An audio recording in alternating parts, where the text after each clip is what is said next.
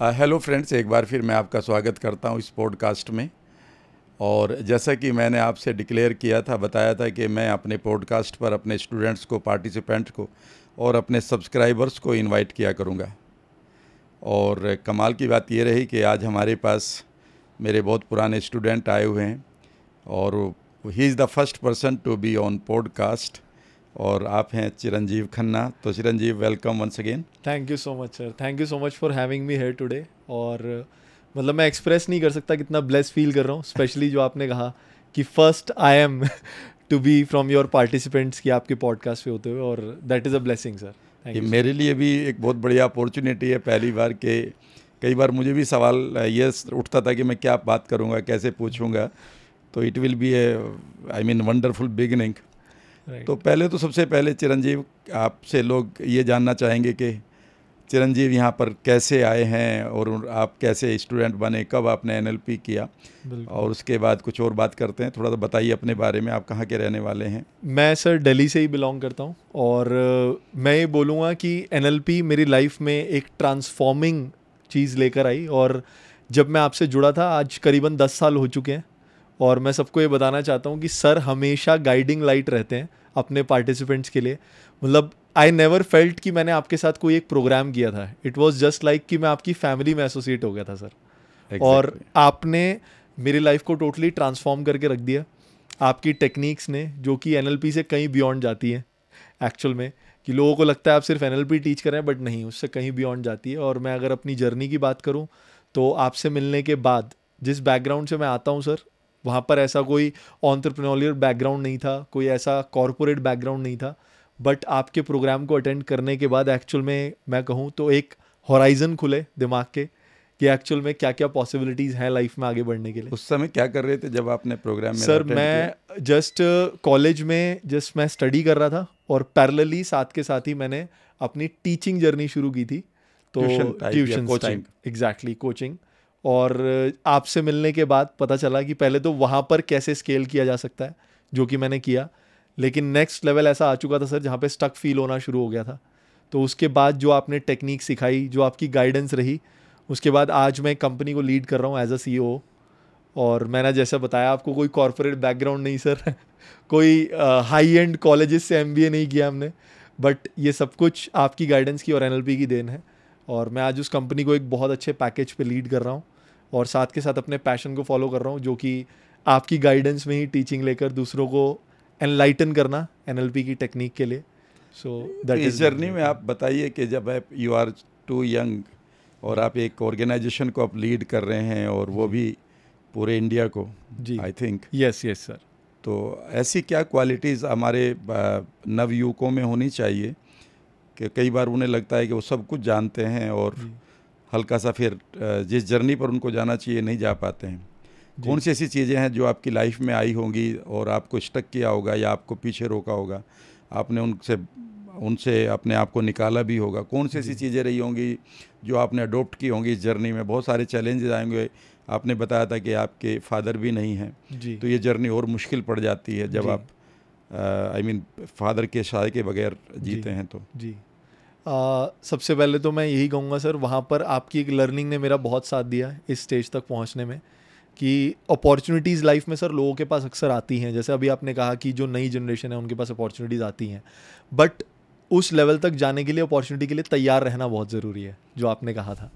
आपने वर्कशॉप में ही ये बोला था मुझे, और वो मुझे आज तक याद है, सर।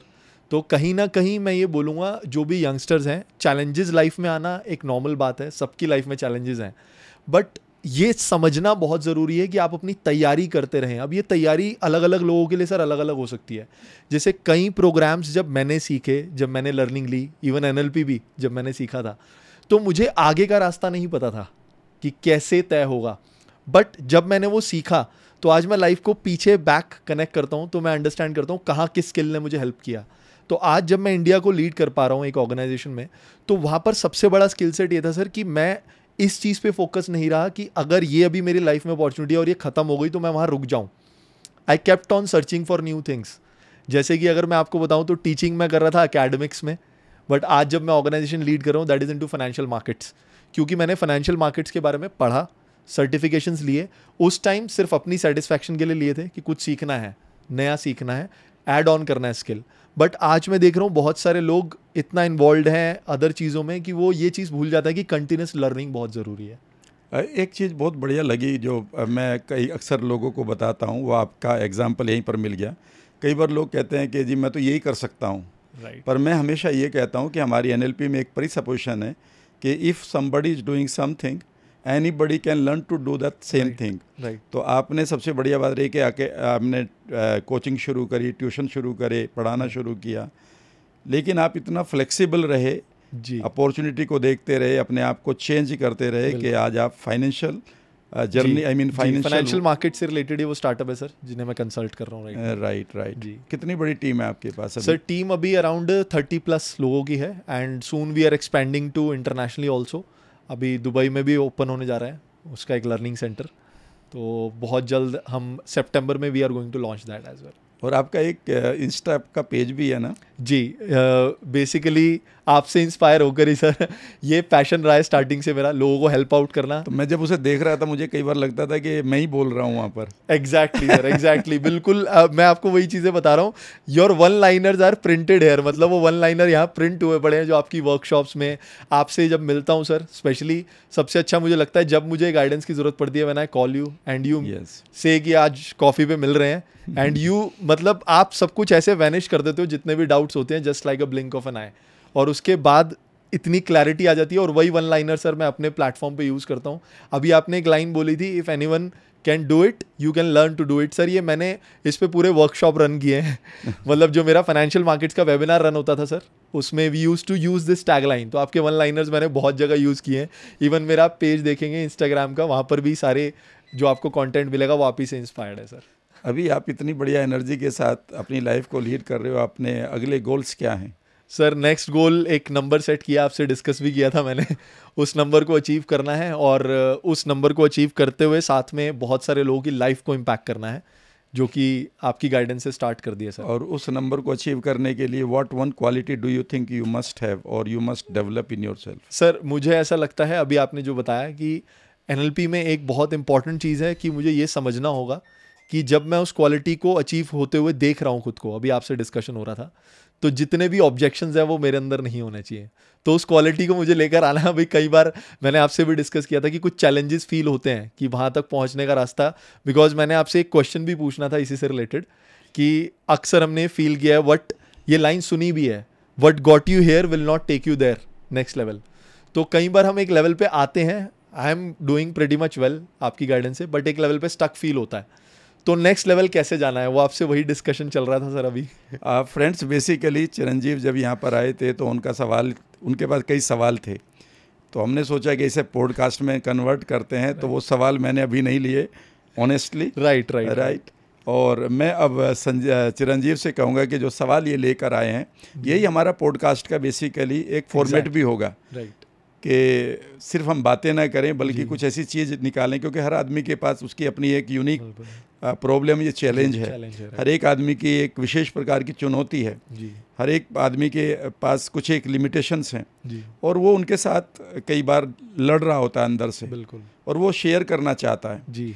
तो मैं ये प्लेटफॉर्म अपने सब्सक्राइबर्स को अपने पार्टिसिपेंट को अपने स्टूडेंट को दे रहा हूँ एंड मैं ये मानता हूँ कि आपने ये देखा ही होगा कि वो सब मेरी फैमिली की तरह हैं। बिल्कुल मैं हमेशा अपने पास पार्टिसिपेंट स्टूडेंट को अपनी फैमिली की तरह ही ट्रीट करता हूँ। और कभी ऐसा नहीं लगता है कि मैं मतलब दूर का कोई इंसान है वहाँ पर। exactly, और यही चीज़ जब मैं बात करता हूँ अपनी वीडियो में मैं सोचता हूँ कि जो भी देख रहा है शायद वो मेरा फैमिली ही है एक्सटेंडेड तो फ्रेंड्स अब कुछ सवाल चिरंजीव लेकर आए हैं और नेचुरली इस लेवल पर जो आदमी पहुँच गया है एक बहुत बड़े पैकेज पर हैं ये। तो समझ लीजिएगा कि और इनके सवाल होंगे तो कुछ निश्चित रूप से यूनिक ही होंगे। कोशिश करेंगे कि उनका कुछ समाधान निकले। बिल्कुल बिल्कुल तो अब ये पॉडकास्ट आपकी तरह से शुरू होगा। Thank you so much sir thank you so much for giving this opportunity कि मैं अपने सवालों को पूछ सकूँ और मुझे ऐसा लगता है कि बहुत सारे लोग जो आपकी एक्सटेंडेड फैमिली से देख रहे हैं उनके मन में भी इस तरीके के क्वेश्चंस होंगे। So sir first of all एक बहुत कॉमन क्वेश्चन मुझे लगता है मेरी फ्रेटर्निटी में रहता है लोगों के बीच में कि एक डर है sir fear of losing it all ऐसा लगता है कि आप बहुत कुछ अचीव कर रहे हैं चीज़ें बिल्ड कर रहे हैं. What if you lose it all यानी कि अगर वो सब इम्पैक्ट होता है किसी भी गलती से sir we can make mistakes at any point of time तो कैसे उस चीज़ से खुद को बचाएँ और कैसे उस डर से खुद को बचाएँ? हाँ और ये डर फ्रेंड्स बहुत लोगों में होता है जब हम जर्नी को आगे बढ़ाते हैं और हम एक क्रिएट कर लेते हैं एक एम्पायर को अपनी डिग्निटी को क्रिएट कर लेते हैं अपने पैसे को क्रिएट कर लेते हैं अपने करियर को क्रिएट कर लेते हैं और हम एक एम्पायर के मालिक बन जाते हैं तो हमेशा एक डर रहता है। याद रखिएगा ये राजा का भी डर होता है और ये बादशाह का भी डर होता है। जी। ये प्रधानमंत्री का भी डर है और ये एक कॉरपोरेट के एग्जीक्यूटिव का जो टॉप पर है उसका डर है। और ये बहुत कॉमन है।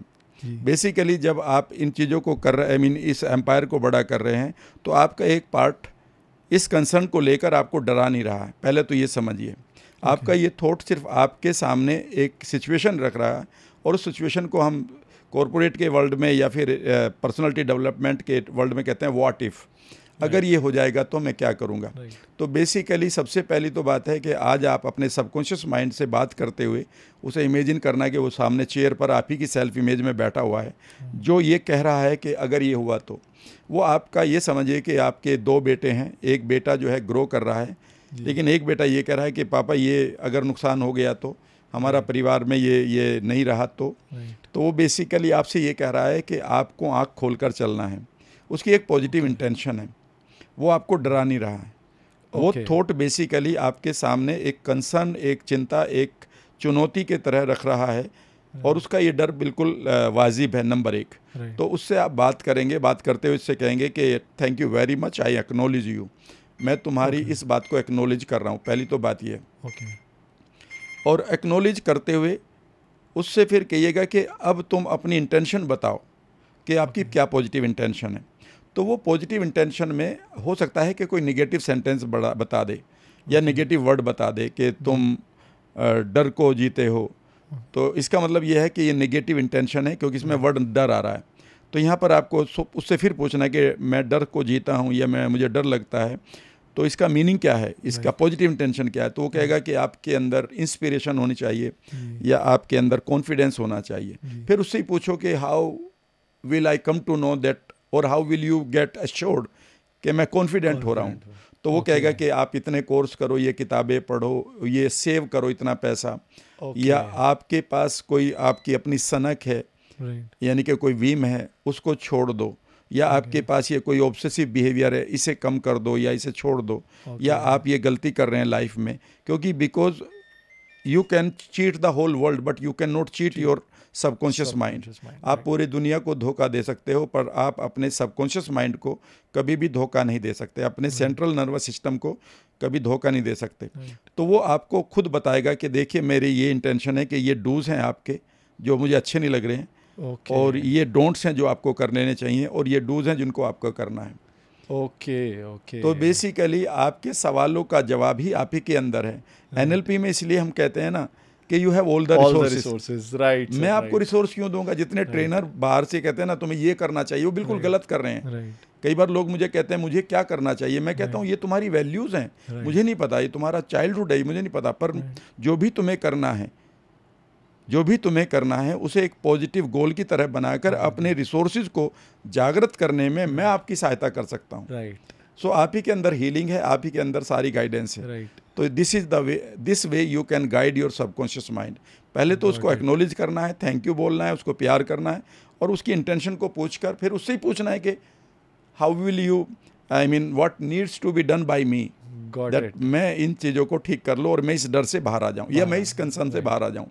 डर भी नहीं है। And immediately it will allow you basically ये एक रिकैप भी हो गया मेरे लिए कॉन्सेप्ट का। आपने बताया था कि हर आपका जो बिहेवियर आ रहा है उसके पीछे कोई पॉजिटिव इंटेंशन है। Everything every every positive every behaviour has a positive intention वो आदमी भी जो आत्महत्या कर रहा है उसका भी पॉजिटिव इंटेंशन ये है कि वो आत्महत्या इसलिए कर रहा है क्योंकि वो ये मानता है कि आत्महत्या ही उसका रेस्क्यूअर है। रेस्क्यूअर है। अब उसके पास यही एक तरीका बचा है अपने आप को स्ट्रेस फ्री करने का। क्योंकि इतनी स्ट्रेस बढ़ गई है। एक आदमी सिगरेट पीता है उसका पॉजिटिव इंटेंशन है कि वो अपनी रिलीफ को एंजॉय कर रहा है या सिग्निफिकेंस आ रही है। एक आदमी आई मीन एक पैसे को बर्बाद कर देता है सारा कुछ एक बार में उड़ा के उसकी भी पॉजिटिव इंटेंशन है कि उस समय वो रिलीव्ड फील कर रहा है। गुस्से में आप किसी को गाली देते हैं वो भी एक पॉजिटिव इंटेंशन है कि उस गुस्से के बाद आपको रिलीव्ड फील हो जाता है नहीं तो आप चोकिंग के अंदर हो सके कि आपको दमा यानी कि अस्थमा हो जाए। Okay. So every every behavior has a positive, positive intention. intention. Every behavior. That we need to uncover. That yeah. we need to uncover. And we need to address it it also. Properly लेकिन ये तभी होगा जब आप एक mentor के साथ जुड़े Exactly. नहीं sir. तो वो आंसर right. भी नहीं कई बार आएगा Right.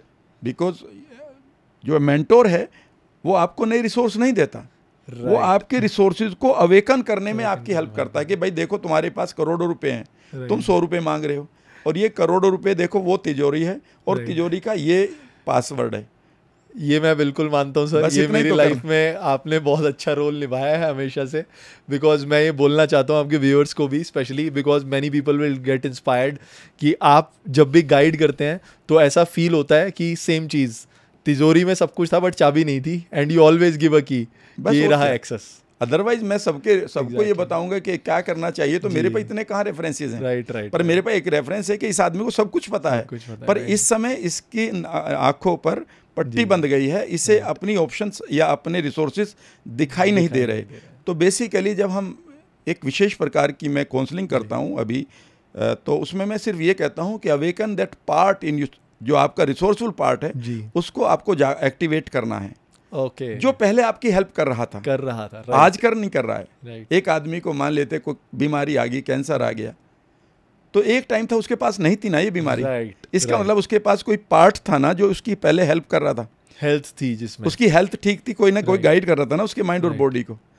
अब अचानक ये बॉडी ने एक नेगेटिव टर्न ले लिया है। तो इसका मतलब है कि वो पार्ट जो गाइड कर रहा था उसने इसका साथ छोड़ दिया ना। यानी कि एक बाप ने हाथ छोड़ दी उंगली छोड़ दी बच्चे की और बच्चा भटक गया है।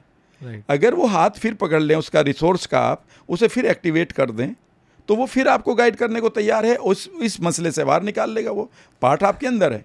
राइट तो जो ट्रेनर है जो कोच है उसका काम सिर्फ़ उस पार्ट को जागृत करना है। जागृत करना है। Right that's great insight sir great insight and एक चीज़ सर कॉमनली uh, मतलब मैंने भी फील किया है। बहुत सारे चैलेंजेस रहे हैं लाइफ में but I don't stuck on the past events तो ऐसा मैंने जिन लोगों से कनेक्ट किया, जिन लोगों से बात की, वहाँ भी फील किया कि बहुत सारे लोगों के पास ना पास्ट में कोई बहुत बड़े पेनफुल इवेंट्स नहीं है।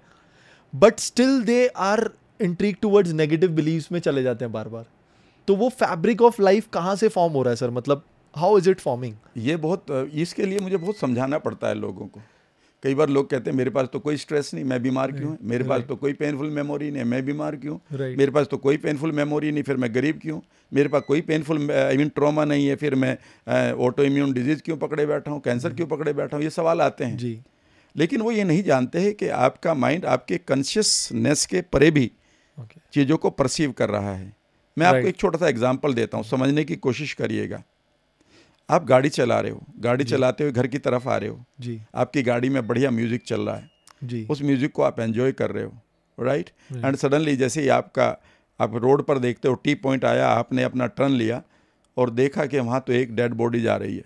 राइट और एक थॉट आया my God life is uncertain आपने किसी को नहीं बोला किसी ने आपको नहीं बोला।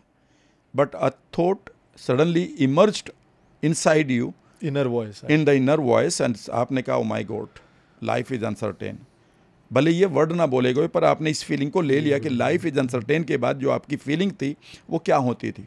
और उस फीलिंग को आपके इंटरनल वर्ल्ड ने ले लिया।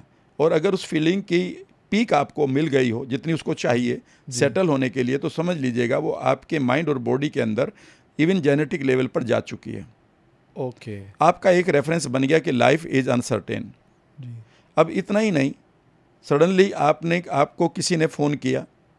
आपने उसने उन्होंने कहा कि sir actually I was I mean going on the bike and suddenly मेरे पीछे कोई आदमी बैठा था वो गिर पड़ा उसको चोट लगी is very serious and suddenly the second reference has created has been created that life is uncertain फिर आप एकदम से न्यूज़ चैनल देखते हैं कि फला देश का तख्ता पलट हो गया और वहाँ पर आई मीन वायलेंस चल रही है। जी। ठीक है ना? और वहाँ पर किसी ने बोलते हुए कह दिया लाइफ इज़ अनसर्टेन और तो वो स्ट्रांग होता जा रहा है। अब ये रेफरेंस जो है तीन बार आ चुका आपकी लाइफ में। Okay okay. आपकी लाइफ अनसर्टेन नहीं हुई पर आपके लिए लाइफ इज़ अनसर्टेन हो गई। Okay in my inner world in the in your inner world okay अब आपका माइंड एक चीज़ को जानता है कि लाइफ इज़ अनसर्टेन और आपने कोई एनएलपी के ट्रेनर को नहीं पकड़ा किसी आपने मेंटोर को नहीं पकड़ा आपने सोचा कि मैं सब कुछ जानता हूँ और आपने एक रेफरेंस को स्ट्रॉन्ग कर लिया। आप ये बताइए कि पूरे देश को पता है कि एक बीमारी जिनका नाम सी जिसका सी से नाम शुरू होता है सारी दुनिया को पता है और हमारे देश को तो पता ही पता है कई बार वो कहते हैं कि सर मत लिया करो इसका नाम डर लगता है कि भैया लाइलाज है। ओके। ठीक है ना? आपको कितने रेफरेंस दिए गए हैं कि जी माइग्रेन ठीक नहीं होता दमा दम के साथ जाता है। ठीक है ना? रिश्ते जी का जंजाल है। Life I mean life is I mean the world is very cruel life is the bed of thorns जब हम इन तरह के वर्ड्स को रोज़ाना सुनते हैं और फिर हमारे सामने गाने भी कुछ ऐसे आ जाते हैं फिर हमारे साथ कहानियाँ भी ऐसी आ जाती हैं फिर हमारे पास चारों तरफ़ की misery I mean full of जो मिजरीज इवेंट्स हैं वो भी ऐसी आ जाती हैं। तो आप आपकी लाइफ में नहीं ज़रूरी है कि कोई पेनफुल इवेंट आई हो पर आपके पास जो इवेंट आ रही है वो आपके माइंड के लिए एक रेफरेंस क्रिएट करती जा रही है। हर दो बार या तीन बार के बाद कोई भी चीज़ जो रिपीट हो रही है वो आपका फैब्रिक बनता जा रहा है लाइफ का। अगर लाइफ आपकी एक एक एक कपड़ा है क्लोथ है तो उसका जो फैब्रिक है वो आपके रेफरेंसेज हैं जो आपने जाने अनजाने में उठाए हैं। उठा लिए आपके पाँच सेंसेस जिसमें आपकी स्मेल भी है टेस्ट भी है चलो ये तो दो ज़्यादा काम नहीं करते पर आपकी आपके कान हैं आपकी आँखें हैं और सबसे बड़ी है आपकी फीलिंग फीलिंग बॉडी जो बॉडी के अंदर फीलिंग आ रही है। जी। वो तो परसीव कर रहे हैं ना पूरे वर्ल्ड को। एक सेकंड में आप बारह पंद्रह मैसेज को परसीव कर लेते हैं उसको डिलीट डिस्टोर्ट जनरलाइज करके अगर आपने एक थॉट को भी निगेटिव डाल लिया तो वो तो आपके अंदर चला गया ना। तो ऐसे में लोग ये कहते हैं कि मेरे पास कोई पेनफुल मेमोरी नहीं अब मैं हंसता हूँ। मैं कहता हूँ कि आप यूट्यूब खोल के देख लो आप किसी न्यूज़ चैनल को देख लो आप किसी अखबार को पढ़ के देख लो येलो जर्नलिज्म है। इसके अलावा आपको मिल क्या रहा है? राइट राइट राइट तो रेफरेंसेस आपके सचमुच में बिगड़े पड़े हैं। चार रेफरेंस आपके पास जब मैं लोगों से कहता हूँ कि आप पुरानी मेमोरी में जाओ और ढूंढो कम से कम सौ मेमोरी छोटी छोटी ऐसी ढूंढो जहाँ पर आप खुश हैं। जी।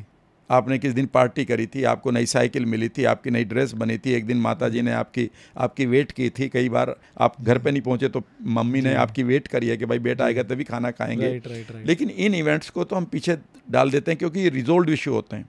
ये रिजोल्व हो चुके इशू तो इनको तो हम मेमोराइज नहीं करते हैं। लेकिन एक आदमी ने अगर हमारा नुकसान कर दिया है एक आदमी ने हमें इंसल्ट कर दिया है तो वो रेफरेंस कई बार हम जी रहे हैं उसको उसी को जी रहे हैं। राइट और वो अगर हम अपना भूल भी गए तो सडनली आपको अचानक किसी ने देख लिया या बोल दिया कि यार फला ने फला को थप्पड़ मारा इंसल्ट कर दी तो आपका सबकॉन्शियस माइंड आपका कॉन्शियस नहीं आपका सबकॉन्शियस माइंड आपके उस मोमेंट को जी लेगा जहाँ आपकी भी इंसल्ट हुई होगी। गॉट इट और इमीडिएटली वही जेनेटिक एक्सप्रेशन आपका एक्सप्रेस्ड होना शुरू हो जाएगा आपकी बॉडी में भी और माइंड में भी। तो कहीं ना कहीं हम उन ट्रेजर्स को जो चेरिश नहीं करते हैं बार बार मेमोरीज को जो अच्छी भी है हमारे पास हाँ। उसकी वजह से भी कई बार हम नेगेटिव ट्रैप में फंस रहे हैं। बिल्कुल क्योंकि आपके पास वो इतनी अच्छी पड़ी है पर लोग कहते हैं वो मुझे याद नहीं है। अरे क्यों याद नहीं है? मैं कई बार अपने गाँव जाता हूँ तो मैं अब वहाँ पर देखता रहता हूँ ऐसे घूरता रहता हूँ या वो जगह थी जहाँ मैं मेरा एक फ्रेंड था नरेंद्र यहाँ पर फिसल के गिरा था यहाँ पर मैं गिरा था। यहाँ पर हमारे पीछे साइकिल छोड़ के हम भागे थे पीछे क्योंकि एक पागल कुत्ता भाग रहा था। यहाँ पर हमने गन्ना तोड़ा था चोरी से और बचपन में और भूख लग रही थी और यहाँ पर गन्ने वाला आदमी छुप के बैठा था उसने हमारा पीछे किया था। राइट राइट तो ये इतने अच्छे ट्रेजर्स हैं कई बार इतना मन लगता है। एक पेड़ पर चढ़ गए थे उतरना आता नहीं था पेड़ का मालिक आ गया जामुन खाने वाले कि अब कैसे उतरें। बिल्कुल। लेकिन हम इनको ट्रेजडी की तरह लेते हैं। टीचर ने हमें जो मुर्गा बनाया था बचपन में आज exactly. आज वही तो आज ऐसा मन करता है वो बचपन फिर लौट आए मैं दोबारा मुर्गा बनने को तैयार बिल्कुल, बिल्कुल वो लौट आए और मुझे इतनी अकल हो कि जितनी आज है आज कि इस बचपन को खोना नहीं है। राइट राइट राइट लेकिन अब क्या कर सकते हैं कि हमारा माइंड रियलिटी को और इमेजिनेशन में फ़र्क नहीं फ़र्क जानता। नहीं जानता। तो अगर आप उस रियलिटी को दोबारा जीना शुरू कर दें इमेजिनेशन में जो आप जी। कर आए हैं जी। और उन पिक्चर्स को विजुअल विजुअलाइज करें कलरफुल करें बढ़िया करें उनमें वर्ड्स को बढ़िया डालें उसमें एक आध सीन अपना भी बढ़ा लें राइट तो आपकी बॉडी उसी मोमेंट को जी रही होगी जो उस टाइम जी रही थी। राइट और उस टाइम देखेगा आप जब बारह पंद्रह साल के थे कितने खेला करते थे कितनी एनर्जी थी हर चीज़ पचा लिया करते थे कितने हंसा करते थे कितने आपके एंडोरफिन्स रिलीज़ हुआ करते थे। जी। अब आप बड़े हो गए हैं इंटेलिजेंट हो गए हैं और चारों तरफ़ की स्ट्रेस में घिर गए हैं। ये आप इंटेलिजेंस के साथ आपने लिया है। लिया है। राइट सर राइट इसी में पर्टिकुलरली जैसे आपने ये चीज़ें बताई एनएलपी में तो जो आपने सेंसेशंस के बारे में बताया एक्चुअली मैंने फील किया sir when I talk to people तो अगर मैं उनसे कुछ पॉजिटिव रेफरेंस मांगूँगा तो उनको पाँच मिनट लगेंगे सोचने में। मैं अगर उनसे कहूँगा कि ये पॉजिटिव क्या था दस चीज़ें आप बताओ जिसके लिए आप थैंकफुल हो। They have to think but I ask them ना क्या क्या प्रॉब्लम क्या चल रही है? They have a list list quickly list आ जाती है कि पूरी लिस्ट आ जाती है कि फटाफट से। तो वही चीज़ है कि हम अपने ये मैंने आप ही की वर्कशॉप में सर लिया था कि हमारी पास्ट की जो हैप्पी मेमोरीज हैं वो हमारे लिए ट्रेजर्स हैं। Treasures तो जितना हम उनको एक्सेस करेंगे और कहीं ना कहीं जो आपने बोला वो मैंने फील किया सर बहुत सारे ऐसे इवेंट्स हम बहुत बार ऐसे भी इवेंट्स को जी रहे होते जो नहीं हुए स्ट्रेस में भी जीते हैं ना। हाँ। तो पॉजिटिव सेंस में भी मैंने बहुत सारे इवेंट्स बिल्ड किए सर कि काश ऐसा हो रहा है मेरे साथ and I am living that so आज वो मैनिफेस्ट हुआ सर मैं आपको एक चीज़ बता रहा हूँ। मेरे पास एक बार गुजरात में एक आदमी आया पाँच दिन की वर्कशॉप हुआ करती थी तब। तो उन्होंने कहा कि राम सर मैंने 300-400 करोड़ कमा लिए सबको पता है कि मैं अमीर हूँ। जी। ठीक है ना? गुजरात में ये बहुत बड़ा अमाउंट नहीं कहला फिर भी कहता है कि मैं जहाँ से आया हूँ वो ज़ीरो था और 300-400 करोड़ बहुत होते हैं मेरे अपने रिलेटिव्स के बीच में। लेकिन ऐसा लगता है कि मैं लोगों को फेस नहीं कर पाता हूँ। और मुझे एंग्जाइटी है लोगों से मिलने में। Okay okay. मैं किसी पार्टी में जाता हूँ तो मैं वहाँ से जल्दी भागने की कोशिश करता हूँ ये बताकर भाई मैं बिज़ी हूँ जबकि मुझे वहाँ डर लगता है और मेरा दम घुटता है। ओके तो मैंने उनकी बात करता रहा करता रहा करता रहा अचानक पता चला कि जब मैं उनके पास्ट में गया तो उन्हें मैंने पता चला कि वो बहुत डरे हुए थे और उनके पास कोई भी ट्रेजर नहीं था मतलब उनके अनुसार। ओके। तो कैन यू बिलीव कि मैंने एक ट्रेजर उनका बनवाया कि आप इमेजिन करो कोई भी जब आप सत्रह अट्ठारह साल के थे या सोलह साल के थे इमेजिन करो कि उस दिन आपको एक का आई मीन एक इनविटेशन मिल रहा है। आपको एक चिट्ठी मिल रही है कि वो रतन टाटा कपिल देव और दो तीन लोग आपके शहर में आ रहे हैं और वो इस सोलह साल के लड़के से मिलना चाहते हैं जो तुम ही हो। और मैंने उन्हें विजुअलाइज कराया कि एक बढ़िया सा होटल देखो उसमें कैसे आप कपड़े पहने हुए हो कैसे कार में जा रहे हो। अब वो जो जिस कॉन्फ्रेंस हॉल में वो बैठे हुए हैं वहाँ पर आप जा रहे हो कैसे आपको टी आई मीन टी या कॉफ़ी सर्व सर्व किया जा रहा है कैसे आपसे कपिल देव और टाटा बात कर रहे हैं या अंबानीज बात कर रहे हैं कैसे आपके साथ वो आई मीन आपको गले लगा रहे हैं कैसे आपके साथ वो वायदा कर रहे हैं कैसे वो आपको बता रहे हैं कि एक दिन आप 300 करोड़ कमाओगे। जैसे ही मैंने उसको डीप ट्रांस में लेकर गया डीप ट्रांस का मतलब होता है कि जब आदमी अपने लॉजिक्स को परे छोड़ देता है जी। ये ज़रूरी होता है। जी। फ्रंटल लोब पर ले जाकर पिक्चर को मैंने बनाना शुरू किया उसके हार्ट को पूरी तरह से एग्रीमेंट करवाया। तो आप पत, पता है अगले दिन वो क्या अभी सेकंड डे ही चल रहा था वो कह रहे राम सर मैं तो देखो अब आऊँगा नहीं। मैंने सोचा यार शायद इसके लिए काम नहीं करा मैंने कहा जी आपकी चॉइस है आप you can take your money back उसने कहा नहीं सर आपकी इस टेक्निक के बाद मैं एक पार्टी में गया था एंड आई एन्जॉयड थोरोली मुझे जरा सा भी दम नहीं घुटा और मेरे पास वो पिक्चर घूम रही है कि मैं तो बचपन से ही अमीर हूँ। सर मैं इस चीज़ से प्रॉपरली रिलेट कर सकता हूँ because as I told you जहाँ से मेरी बिगिनिंग हुई थी वहाँ पर ये एंगजाइटी मेरे पास थी। और मैं जब आपकी वर्कशॉप में आया था मुझे आज भी याद है आपने सेम एक्सरसाइज पूरे पार्टिसिपेंट्स को करवाई थी। और उसको करने के बाद even people sometime use to feel कि भाई ये तो मतलब ऐसा लगता है कि already he is coming from a very rich and affluent background because वो एक कंफर्ट लाना बॉडी में वो बहुत ज़रूरी है अगर आप उस लेवल पे जाना चाहते हैं तो। और वो तभी आया सर। बेसिकली मैंने आपके माइंड और बॉडी को एक रेफरेंस दे दिया। Right right. पास्ट के टाइम लाइन पर ले जाकर। तो ये पास्ट की टाइम लाइन की हीलिंग करी मैंने आपकी। Right, कि right. आप पास्ट में ही बहुत अच्छे थे। राइट ठीक है ना? और विजुअलाइजेशन इस तरह से करा दिया कि आपके छियासी बिलियन न्यूरॉन ने इसे रियलिटी मान ली। और आपकी बॉडी ने उसे स्वीकार भी कर लिया। बिल्कुल। कि yes I am comfortable with this imagination क्योंकि अगर लॉजिक माइंड आता है तो बॉडी कहते हैं ये नहीं होगा। नहीं ये नहीं होगा। पर बॉडी जैसे ही मैं देखता हूँ कि आदमी रिलैक्स कर रहा है मेरी कमांड के साथ जब मैं ये कह रहा हूँ कि और उस दिन रतन टाटा ने he is giving you a card also and he is saying that you you are most welcome in my life any time you can come with your idea और जैसे वो रिलैक्स कर रहा है इसके साथ समझ लीजिएगा कि बॉडी इज़ एक्सेप्टिंग इट याद रखिएगा किसी भी इमेजिनेशन को आप अगर रियलिटी में तब्दील करना चाहते हैं जो आपके बिहेवियर में दिखाई दे वो तभी पॉसिबल है जब आप अपनी बॉडी को पूरी तरह से उसके साथ कॉन्ग्रुएंट कर दें। कॉन्ग्रुएंस का मतलब है एक रूपता में डाल दें। तो जितना आप किसी भी थॉट के साथ रिलैक्स करेंगे उतना ही आपका माइंड और बॉडी उसे रियलिटी बना लेगा और आपकी जेनेटिक लेवल पर यह एक्सप्रेशन इम्प्रिंट हो जाएगा। चाहे आप बॉडी okay. चाहे आप किसी डिज़ीज़ को हील करें या किसी बड़े लॉ ऑफ़ अट्रैक्शन की चीज़ों को मैनिफेस्ट करें। Right right. तो आप मैं सबसे कहूँगा कि आप पास्ट में जाकर एक विजुअलाइज तो करें एक दिन तो निकालें एक दिन बिना निकालें यार तीन घंटे तो निकाल लें।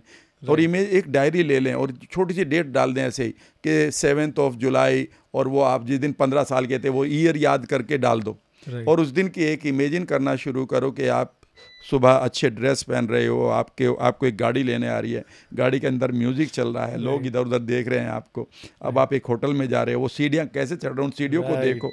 यही तो सब मैं कराया करता था in very detail sir even the minutest detail आप कवर करते थे। दरवाज़ा आप किस गेट से खोल रहे हो? खुशबू कौन सी आ रही है? आपने सीट कौन सी ली है? उस सीट का कलर क्या था? कैसे बैठे थे? जब आप इस डिटेल में जाएँगे तो आपके माइंड के जो विजुअल्स हैं वो इस तरह से बनने शुरू हो जाएँगे कि आप डीप ट्रांस को क्रिएट कर लेंगे। और जितनी आपकी डीप ट्रांस होगी उतना ही तेज़ी से आपकी वेगस नर्व इस इन्फॉर्मेशन को ले जाकर आपकी बॉडी को दे देगी और वो बॉडी से कहेगी कि इतनी खूबसूरत पिक्चर चल रही है तुम शांत हो जाओ। और जो भी चली से मान लो जब आप किसी पिक्चर को देखते हो तो आप जानते हो ये पिक्चर देखने गए हो मूवी देखने गए हो। यस और नो लेकिन एक टाइम ऐसा आता है कि आप उसमें रोने लगते हो। राइट बिकॉज़ उस समय आपका माइंड और बॉडी मान लेती है। उस समय आपकी बॉडी और माइंड मान लेता है कि ये रियलिटी है। रियलिटी बस यही इसका मैजिक है। बिल्कुल। परफेक्ट सर मतलब ये तो बहुत इंपॉर्टेंट इन्फॉर्मेशन है। सो so, बहुत पावरफुल इनसाइट्स थे सर मेरे अगेन क्वेश्चंस आपने एड्रेस किए और जैसे कि आप हमेशा मुझे गाइड करते रहते हैं। सो so, जो भी मेरे क्वेश्चंस मन में आए आपने बहुत अच्छे से एड्रेस किया उन्हें। और मैं सभी आपके व्यूअर्स को भी यही बोलूँगा that you people are so blessed sir बहुत ही अच्छे से सारे इश्यूज़ को एड्रेस करते हुए चल रहे हैं और मैं तो बस यही प्रे करता रहूँगा सर कि आपकी गाइडेंस हमें मिलती रहे कंटिन्यूसली और इसी तरीके से हम लोग सक्सीड करते हैं थैंक यू चिरंजीव और थैंक यू वेरी मच आप सब लोगों को जल्दी इन्वाइट कर रहा हूँ keep enjoying keep growing thank you so much sir